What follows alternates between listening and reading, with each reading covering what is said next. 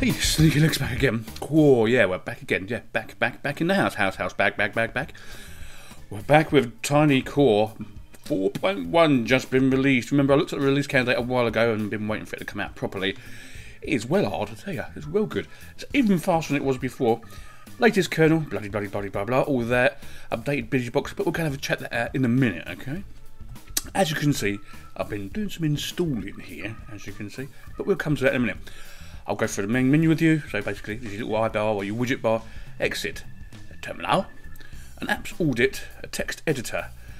Configure your panel. Basically, if you've seen TinyCore before, you know exactly what this looks like. So backup, restore, date and time, network, W bar config. So you can put it at the top, down the bottom, left to the right. If you've got wallpapers, you can put them in the wallpaper section, so you can do some wallpapering and stuff like that. Set up your screen resolution and your keyboard and mouse. Oh yes, indeed. Okay, what is that? A basic run command. That's pretty good. Oh, don't forget your app browser, which we'll come back to in a little while. Okie dokie. There's my mounted drive, because we've got all this stuff installed to my drive, haven't I? Like, now, remember a long time ago I asked for a GUI installer and they gave it to me. They're really nice chap down there Tyco, aren't they, really? Also got AbiWord. Ooh, yes. So look, one click, it's there. Oh, see how quick that was. Now I've got oh, not got all the extensions for it just yet because I've not got around to playing with it enough. But it's 268. I can do with that one. Does what it says on the tin, doesn't it? You can do your stuff. Okay.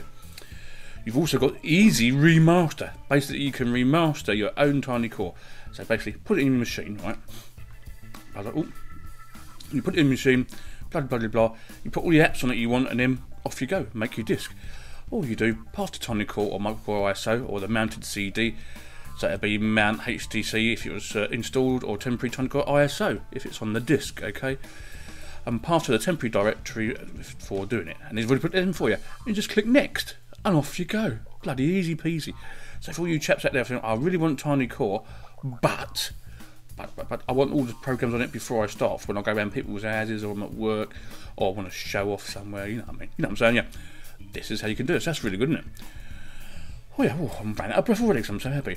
But unfortunately, can't get Junior to work at the moment, so it's missing a dependency along the line, so I'll have to go and have a little butchers at that one. I might leave them a link actually. Inkscape light I've put in there, there you go, see how nice and quick it is. Oh, lovely, super. Bit of a drinkage, hang on. Mmm, beautiful and clean water. We've also got Pidgin here. I've not put all the extras of Pidgin in, but they are there for you to use. GTK Record My Desktop is here for you to use. Also, you will have to configure the sound though to get it working correctly and put in all the other stuff ALSA and whatever. Don't forget you have to do it before you even start to use it, okay? Right, also next to them we have Tiny Core Grub for DOS for doing your grub. Oh yeah, all, all there for you on the menu. When you boot, boot up the multi-core now, it's instead of just having to choose which one you want to go to, it boots into this super duper Tiny Core, okay? So you get all this other stuff.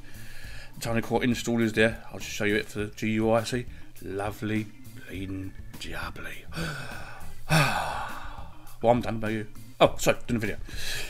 Anyway, you also get Wi-Fi as stand. So if you've got a Wi-Fi device, it'll check, check, check, check, check, check, check, check, check you out, and you'll be able to go and do your Wi-Fi as standard in Tiny Core. Yes, as standard, not an add-on. It comes with the disc. Even if you just get the multi-core disc, it's only 47 megabytes of stuff for multi-core, right? Oh, just one basic Tiny Core is 10 point something now. I don't know, what I'm saying. But yeah, just get the multi-core and you can never play with like three different types and uh, micro core as well because micro core's quite good as well. Anyway, me going on a bit much, didn't I? Oh yeah, so right, we'll open Chrome up and we'll actually go to the site, okay, and have a little look in the book. So if I put it in the top there, tiny core, and see where it takes us in Linux, should we? It takes us to Tiny Core, and here it is, the latest and greatest basically continued the upgrades and done lots of other stuff. New busy BusyBox, new libs, FreeType and sudo, all done. Improved support for microcore, includes one demand. Super duper duper duper. I'm loving it. Are you loving it? I'm loving it. No, I'm loving it, really. I'm loving it. I hate that, don't you? Anyway, yes, so that's all upgraded for you to use Hunky Dory Super Great. Right, finally, if you've never seen Tiny Core before, it's tiny. I mean, it boots up in like ooh, light speed and shuts down in twice the speed of light and stuff like that, okay? So, I'm going to go to the app browser and just show you. We're going to connect, and this is how you install stuff, okay? So you just basically choose that. I'm going to choose the plugins for AbiWord because that shouldn't be too big, okay? It's only 1.3 meg. And basically, yeah, yeah, yeah, yeah, I want that, I want that, yeah, yeah, yeah. Even if you're using it from the live CD, by the way, this is how you do it, okay? Because it runs totally in RAM. So if I want the actual add-ons, I'll just click go. It's now going to download them and install them for me. So I'll get Babelfish, Claris, Works, like up here, DocBook, EML, Translation, Gimpy, Google, Open Document, Open Writer, Open XML, Palm. I just still use Palm. Yeah. Script Happy, and other stuff indeed. Oh, Wikipedia. So it supports all this other stuff in AbiWord. Okay, so that's alright though. Another drinkage. If you hold on now, goddamn second. Hmm. Right, it's just finishing downloading now. So it should all be super great in a second. Oh, but just get into it in the end. One thing I have found though, it may be me or it may be my network connection. It shouldn't be though because I'm right next to the telephone exchange, almost about 50 meters away. Downloading via Ethernet is not as fast as it used to be, so I might have to check my driver out for that. Ah, and there's all my plugins for AbiWord. So if we close him down there, we go and open AbiWord up.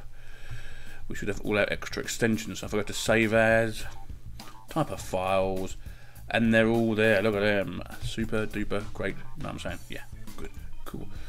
Okay, I'm doing fives this week, you know. There's notice I'm doing a lot of fives. Tiny Core 4.1, you've got to go and get it. Even if you only get the 10 meg one, just go and get it, put it in, have a laugh and have a play. It's super. Sneeky Linux out. Is it 5? kick. We'll see you five. Look out. See you later. Bye, bye.